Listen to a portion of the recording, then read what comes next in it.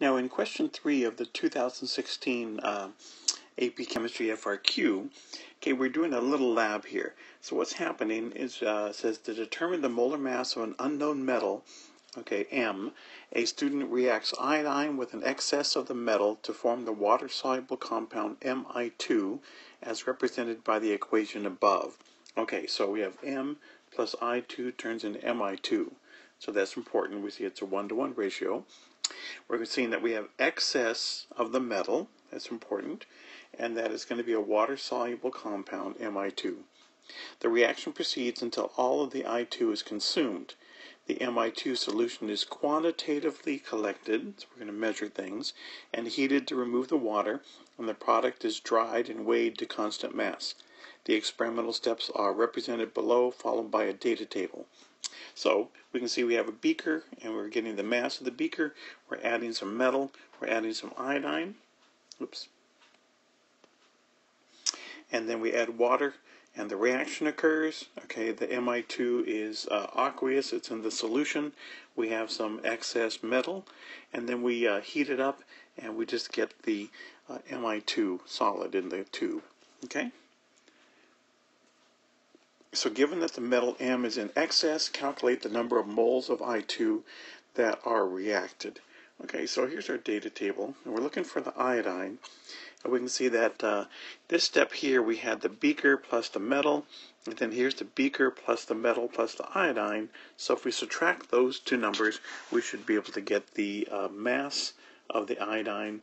And if we know the mass of the iodine, we can turn it into the moles of the iodine using the molar mass. And keep in mind this is I2, so we're going to have to double. So I, I got the 1.126.90 from the periodic table in the test and doubled it.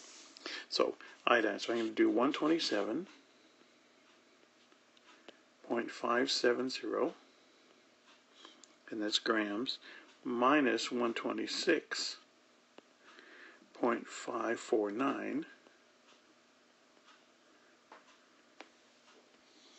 and this comes out to be 1.029 grams of iodine. So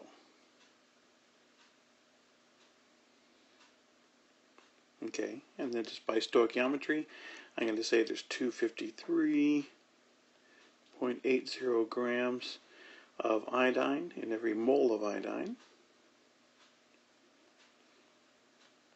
And then it gives me an answer.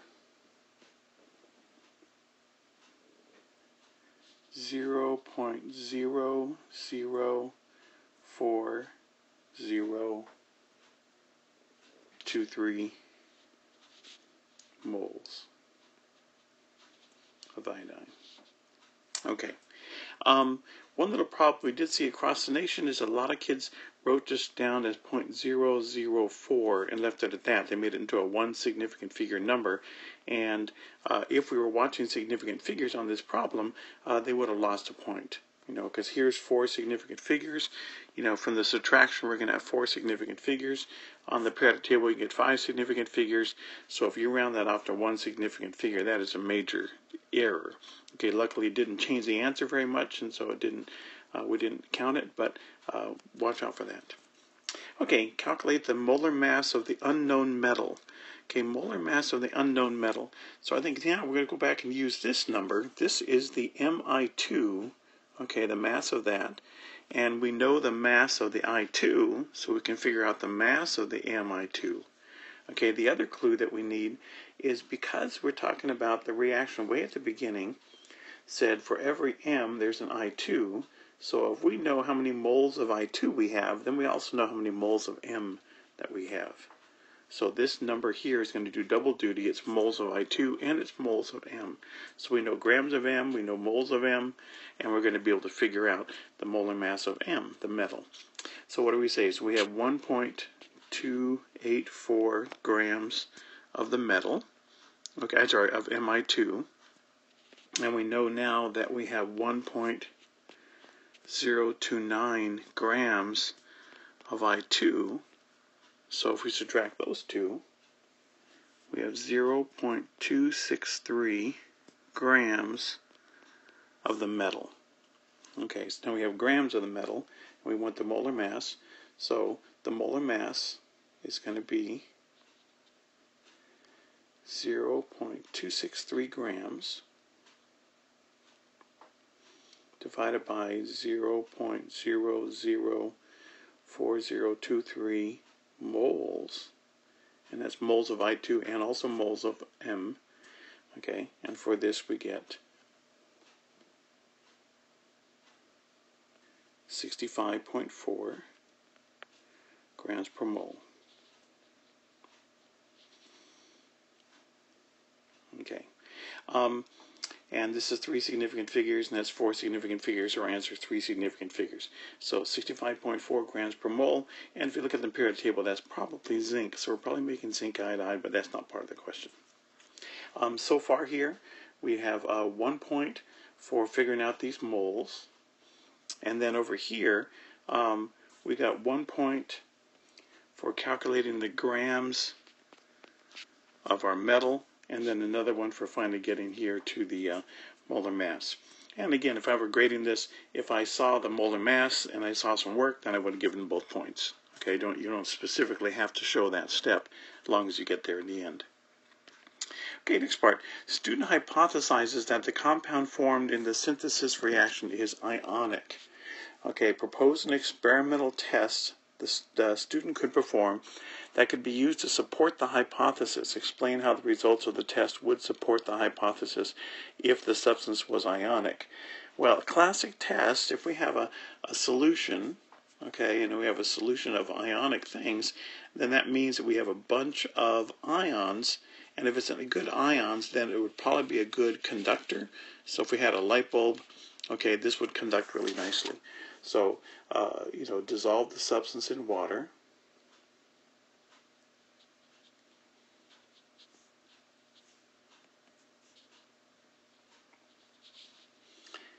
And see if it conducts.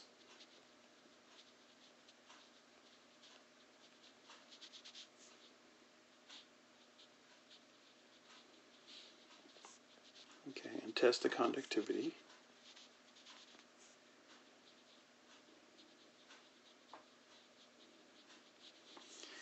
Okay, and then why that make a difference, okay, is that uh, ions will allow a solution to conduct.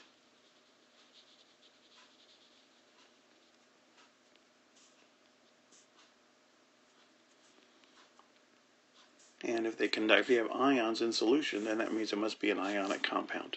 And that's one thing you could possibly do. Um, you don't want to do anything theoretical like saying, well, there must be uh, positive and negative ions. There must have been a metal and a non-metal, you know, because that's not a test. Okay, that's the theory behind ionic compounds. You know, you really need to some kind of a test you can do.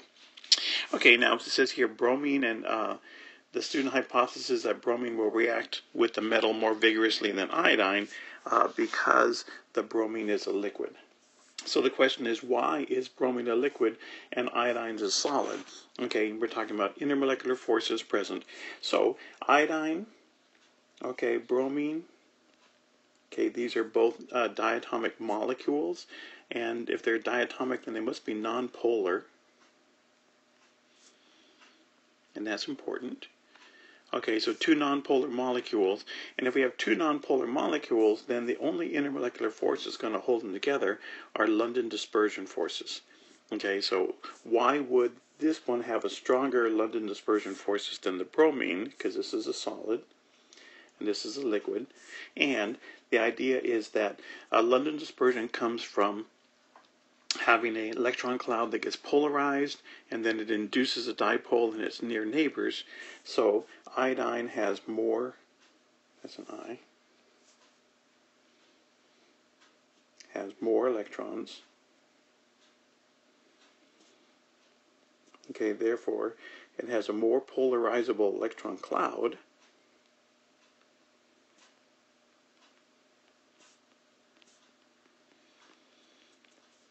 And that means it's going to have stronger London dispersion forces.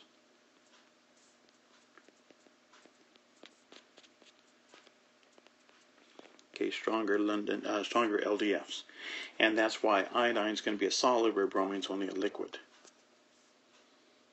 Okay, the last part here, oh, let's go back. Okay, so where were the points on this one?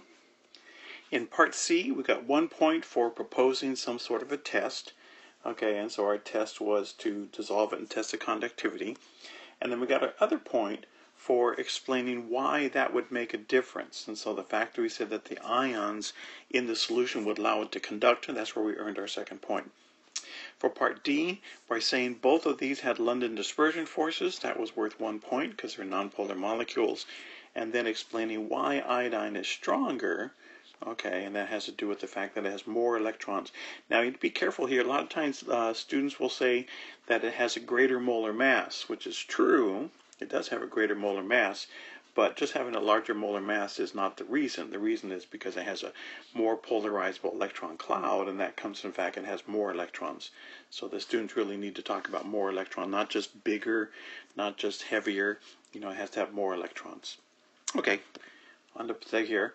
Now we're talking about while the uh, cleaning up after the experiment, the student wishes to dispose of the unused iodine, solid iodine, in a responsible manner the student decides to convert the I2 to I minus anion, the student has access to three solutions, H2O2, sodium S2O3, sodium uh, thiosulfate, and Na2S4O6, and the standard reduction table showed. So which solution should the student add to I2 to reduce it to I minus? Okay, so let's look here. We're talking about this reaction here, and we have the I2 and we want to change it to I minus.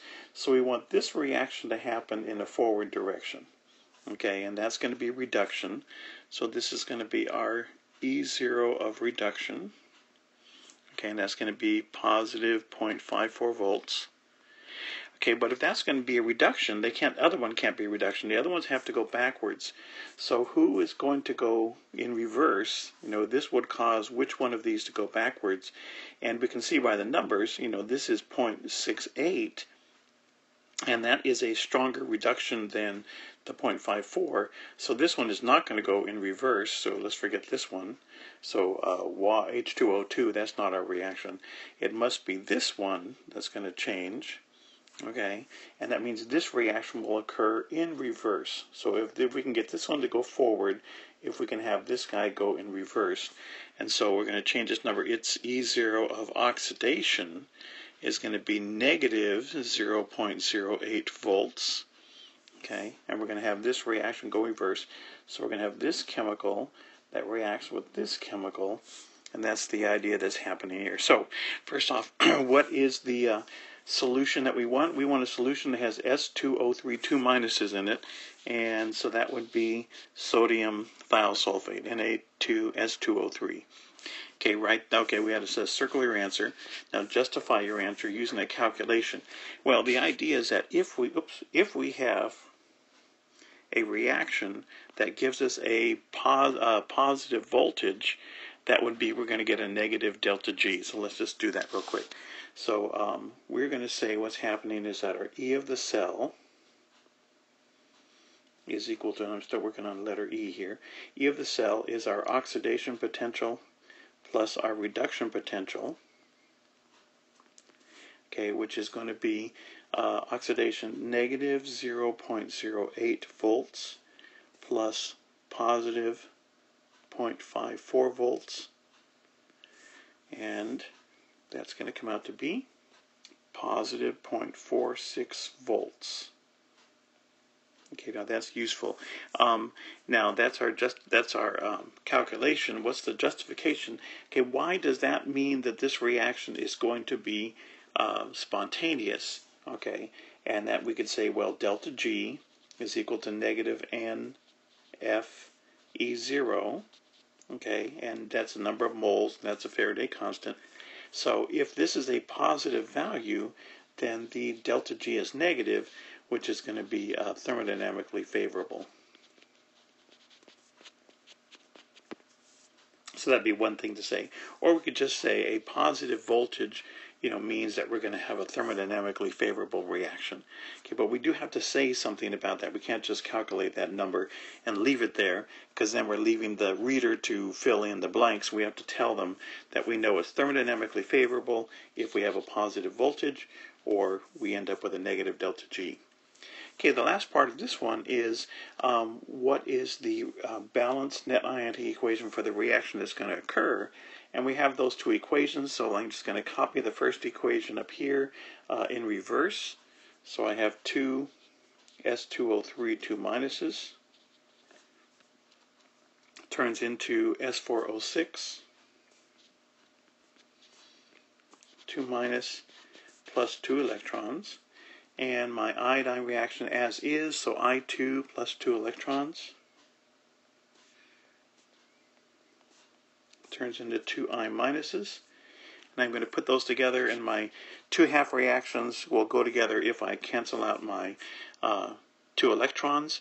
And if I needed to, to, calculate my delta G, then I would have put a 2 moles right here, 2 moles of electrons per mole of reaction. Okay, but we don't have to do that. And what's my equation then?